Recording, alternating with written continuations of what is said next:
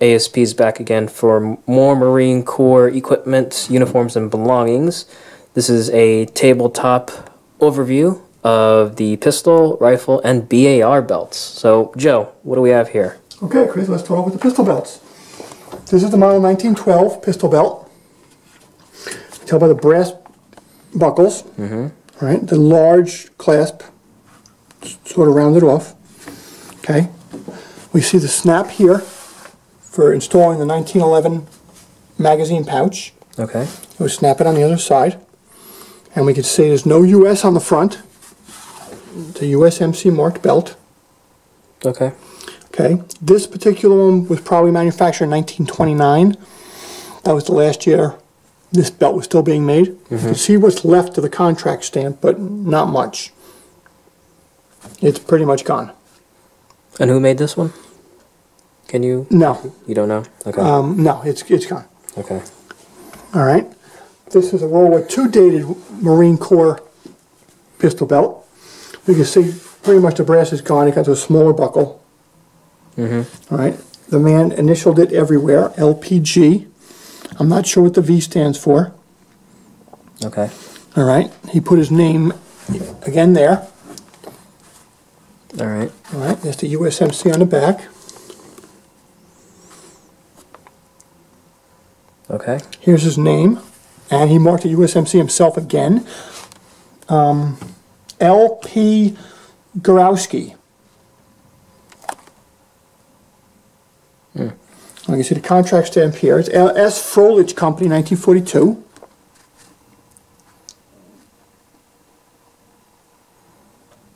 All right. Again, these are fully adjustable, you know, for size, for waist size. All right, this one, this one's really cool. This is a U.S. Army pistol belt Okay. Why U.S. Army? because I got this from the veteran's widow. I I got his whole collection of stuff out of the attic of his house. Mm-hmm. This was his belt. So the Marines were issued Army equipment, and in this particular play, case, we can actually prove it. Yeah. You know, and it's very light, but we can still see his name. I don't remember his name though. It's my fault. Russell Manufacturing Company, 42.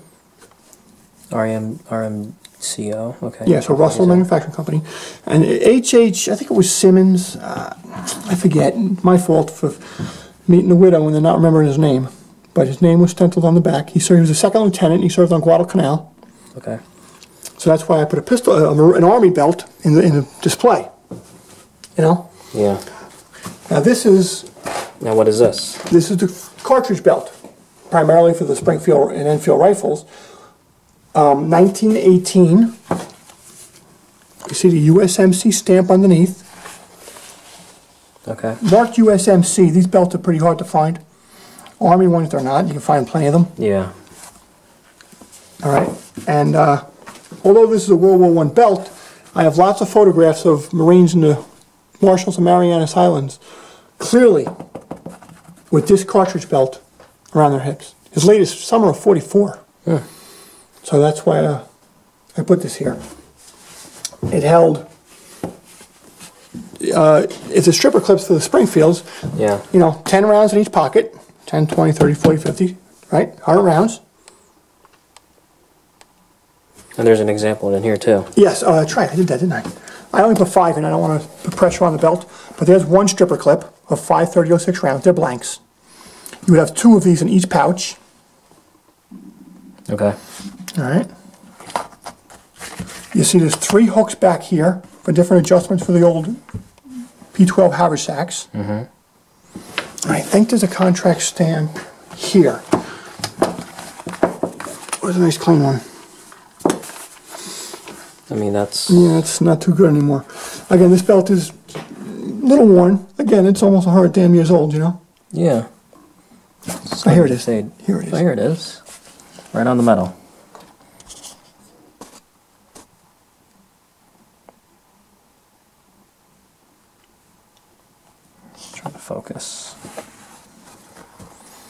Looks like a patent number.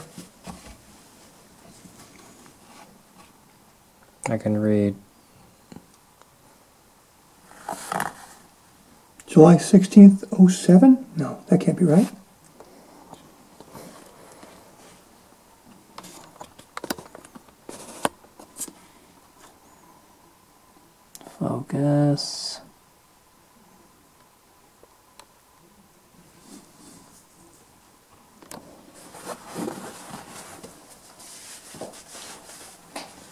There we go. Yeah, July 16th of 07. Hmm. 1907? I don't know about that. I doubt it. It says here May 18th of 15. Right. Again, unfortunately, the contract stamp and the webbing has been worn away. I have um, army belts of this exact same pattern and are in great, great shape. This one's worn. And again, to find it with the USMC stamp is so rare. Okay. All right. And then we have the World War II era one. All right. If this was an army belt, there'd be a big US right here. Instead, it's got, let's see, Boyd 43 Okay. And USMC there. Now, if you look at the back of this and you look at the flaps, see the different colors? Yeah. Then you see the middle belt, different color again. Mm -hmm. They just took parts and put them together, regardless of the webbing mesh. Not, you know, it was not a fashion show. And here we we show the M1 Garand. This was added from the original belt, a second strap to hold it in place. And this is an en bloc clip of the eight rounds. Okay. So you went from down to 80 rounds from 100, but again, the rate of fire was so much faster with the Yeah. semi-auto Garand. All right. And again, it didn't have the puckered, you know, wasn't puckered stitching at the bottom here. And I got away from the brass. It's more of a white metal. Mm-hmm. All right. And there's only one hook for the suspenders now. Mm-hmm. But still, the star pull, lift the dots. Now, if you look, they don't even match. See that? Yeah. Again, they just put them together. All right. Now, you can find these dated 42, 43, 44, 45, 52. Mm-hmm. The 45 dated ones and the Korean War dated ones are a much, much darker olive drab, almost like a dark green. Okay. All right, now here we have the, the BAR belt. All right. Mm-hmm. You see the big US on the stand on the front. all right, this is yes, it is an Army. I cannot find one marked USMC on the back. I keep looking. So until I do, this is it. All right. So six pouches, two 20 round box magazines in each. Mm -hmm. So 240 rounds. Yeah. All right. That's a lot of firepower. That's a lot of firepower. All right. This is the toolkit. So the, the breakdown tool, repair kit, cleaning kit went, Mm-hmm. w- went in here. Okay. We'll get back to this in a minute. We'll go up to the, this is simply the exact same belt. Oh wait, we can show the contract date here. Let's see. There it is, Yeah. Boyd 42. Okay. Now, when you're buying these belts, you can make these up from three different parts. So when you're collecting, you want to kind of make sure they're kind of manufactured the same, you know. Yeah. Okay. All right, and this is a 1945 dated one, again, U.S. Army.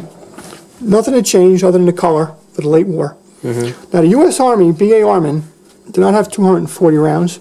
He had 200 rounds. You put the repair kit in one of the pouches. Okay. The Marines literally said, F that. We want the extra 40 rounds of ammo. Yeah. They simply put a wire hook on it, clip it to your belt, carry the extra 40 rounds of ammo. Mm-hmm. You see photos of Marines with this sort of hooked on the back of their belt. Usually the assistant BAR man will have the toolkit, but not necessarily in every photo I've seen. Mm-hmm. That's it. Pistol belts, rifle belts, BAR belts. Nice.